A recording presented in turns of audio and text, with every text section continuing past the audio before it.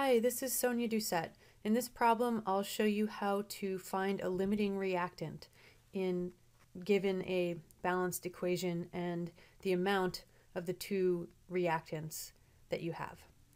So this question says that if 80 grams of water react with 65 grams of lithium oxide, which reactant is the limiting reactant? So what you want to do in this case is figure out how much of each of the reactants could possibly be, be able to react if the other one were limiting.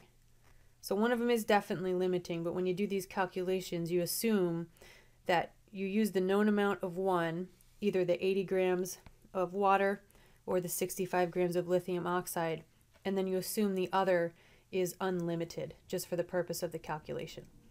So the first thing you can do is figure out how many grams of lithium are needed to react with all of the given amount of water. So you're assuming here that lithium is unlimited because you're going to limit yourself by 80 grams of water. So you have your 80 grams of water. And as always, you need to relate things through moles using the reaction stoichiometry. So you first need to get the water into moles. So if you look up the molar mass of water using the atomic masses of hydrogen and oxygen from the periodic table, you find that you have 32.256 grams of oxygen, I'm sorry, of water per one mole of water. And then if you use the reaction stoichiometry to relate moles of water to moles of lithium oxide, you see that the ratio is 1 to 1. Again, if there's no stoichiometric coefficient in front of a reactant or a product, it's implied that there's one mole of that reactant or product.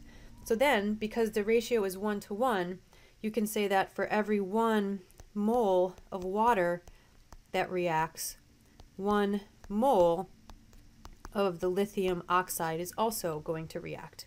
And then you want to get to grams of lithium oxide because you want to be able to compare how many grams of lithium oxide could react with 80 grams of water to the actual grams of lithium oxide, which is 65.0 grams, that you actually have.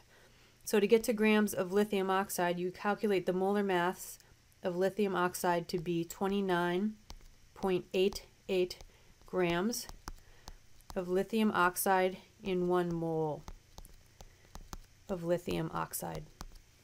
So you're where you want to be. You're in grams of lithium oxide because everything else will cancel out to leave you with those units. And then when you actually do the math, you're going to end up with 74.1 grams of lithium oxide needed to react with those 80 grams of water and you know that you only have 65 grams of lithium oxide. So you have 65.0 grams of lithium oxide available. If all of those 80 grams of water are to react, you need 74.1 grams of lithium oxide. You don't have that. You only have 65 grams. So that tells you right there that lithium oxide is the limiting reactant. But I'm going to do one more calculation because you could have randomly picked um, lithium oxide to start. You could have done a calculation with this 65.0 gram number and come to the same conclusion. So you could have said, well, how many grams of water do I need to react with all of the given lithium oxide? So in this case, you'd start with your 65.0 grams of lithium oxide and you'd get that into moles using the molar mass of lithium oxide in one mole. And then you relate moles of lithium oxide, just like you did in the previous equation, to moles of water using the reaction stoichiometry, so it's 1 to 1. And then you use the molar mass of water, which is 32.256 grams of water per one mole of water. And again, this is going to tell you how much water you'd need to fully react with those 65 grams of lithium oxide. So all of your units will cancel here except for the grams of water, which is what you want. So you would need 70.2 grams of water to react with the 65.0 grams of lithium oxide that you're given. You have more than that.